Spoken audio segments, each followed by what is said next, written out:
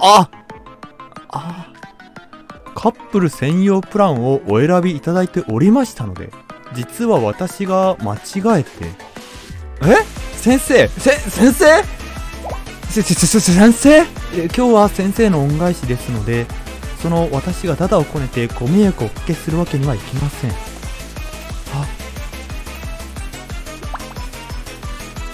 先生さえよろしければそのお風呂一緒に入りますか？全年齢だよな。大丈夫だよ。お。ああざ、ああ